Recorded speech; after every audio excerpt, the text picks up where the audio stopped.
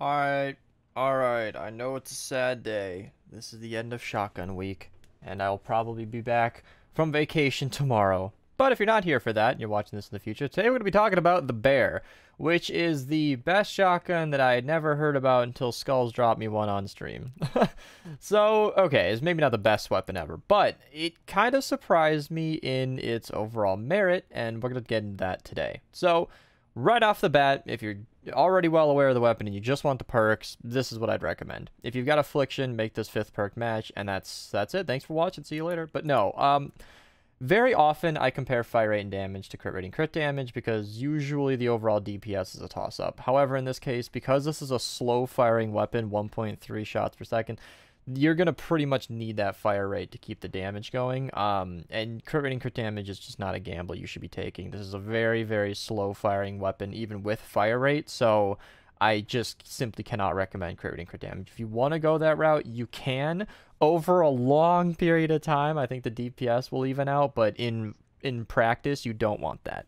Uh, and then, obviously, as per usual, reload mag size. You can do whatever you want. I'll show on screen right now the difference between the reload speed. I'd say reload speed is pretty significant, and because you'll always be reloading anyway, uh, there's no sense in waiting for your mag to just get all the way full when you're just going to empty it again. So if you're running the perks that I recommend in the description below with my best soldier loadout for shotguns, uh, reload is probably the optimal way to go. I currently have this physical because that's how my schematic was, and that's kind of how Skulls gave me his shotgun. I just wanted to compare apples to apples. However, if I start using this weapon more, it'll very likely either become energy or I don't know why, but I'm very weird about this. I don't know. I don't know why, but nature is really calling my name with this bear because I've been looking for a shotgun for every element, and the pop shot came in the Frostnite event, so I'm thinking water might work for that. And then for my personal use, my ground pounder came fire, and to me that was very fitting. So to make the bear, eh, nature is appealing. However, the bear in no way really strikes me as on par with the pop shot and and ground pounder. If anything, I would use these two faster firing shotguns as my main weapon, and then use the bear as a slower firing, more hard hitting uh, sidearm for mist monsters or something. So that's something that I wanted to get into as well. And that's that, yes, it's slow firing. Yes, it's a kind of a pump shotgun, but it does so much damage per shot that you could see in this gameplay that even as a physical weapon, it's doing perfectly fine. Uh, it's not really holding it back hardly at all. So I've really fallen into favor of this weapon, and it kind of just happened on its own. So mine's all purple perks just because I had a lot of purple perk up at the time. Right now, I just sunk like all the gold that I had into my room sweeper, literally just right before recording this. I'm not even streaming or anything. Um, and as a follow up to my room sweeper video, I I've seen the way. I think I might make this fire rate damage because that's just such a oh, like I'm going off of just experience here, comparing fire rate damage to crit crit damage.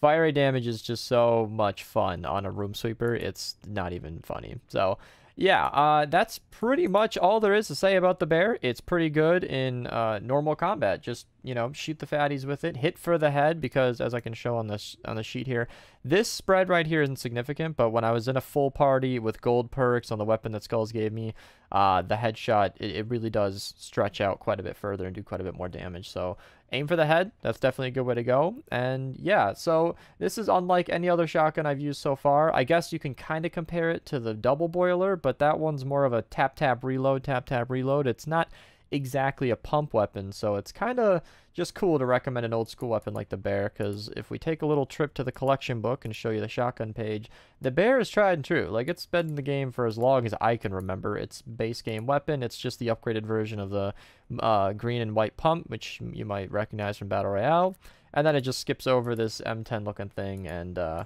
yeah, the bear is the final version of that. So if you do have the bear schematic, make sure that it's got slowed and snared or affliction on its sixth perk. Otherwise, you might want to just skip this one. But that's it for me, guys. Hope you enjoyed this short little video about the bear. Uh, just a fun weapon that I've been enjoying using. Thank you to Skulls for giving me the initial copy. Otherwise, I would have never discovered this gun on my own. I don't think I was ever even eyeing it, and nobody I've ever spoken to has ever spoken about it. So, yeah, thank you guys for watching, and have a nice day. Big shouts to the patrons for supporting the channel. Thank you guys so much, honestly. $5 a month, and you guys can be on the end of my video screens right here. You know, check them out. You know, there you go. Nice some links for you. Thanks for watching.